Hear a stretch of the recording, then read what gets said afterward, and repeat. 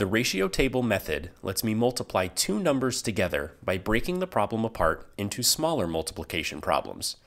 This is also called the partial product strategy, and it lets me take those smaller problems and build up to my original problem. Let's use 35 times 22 to demonstrate. One way I can set up my ratio table is in columns from left to right.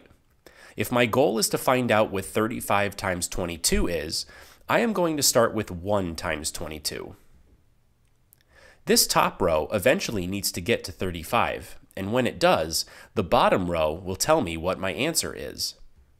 Now, I could continue to add groups of 22 together until I reach 35, but that would take too much time, especially if working with larger numbers. What is nice about the ratio table is that it encourages me to notice relationships between the numbers. Before we continue, we must remember that the top row and bottom row represent a relationship as well. If I multiply or divide the top row by a certain number, I need to do the same to the bottom row in order to keep that relationship the same. This rule can be tricky if I am adding or subtracting to the top and bottom rows. Adding or subtracting a certain number of groups to the top row means I have to add or subtract the value that number of groups has to the bottom row because the top row represents the number of groups and the bottom row represents the value that that number of groups holds. Let's go up to 10 groups of 22 to get 220.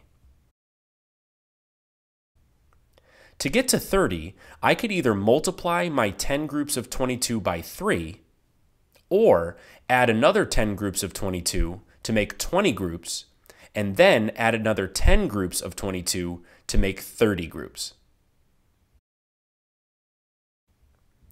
Now all that's left is to get my last five groups of 22, and this is where I am going to look for any relationships between the numbers. There is a relationship between 5 and 10 because 5 is half of 10. If I divide my 10 groups of 22 in half, I get 5 groups equaling 110. If I add my 30 groups and 5 groups together, I will get my answer to the original problem, 35 times 22.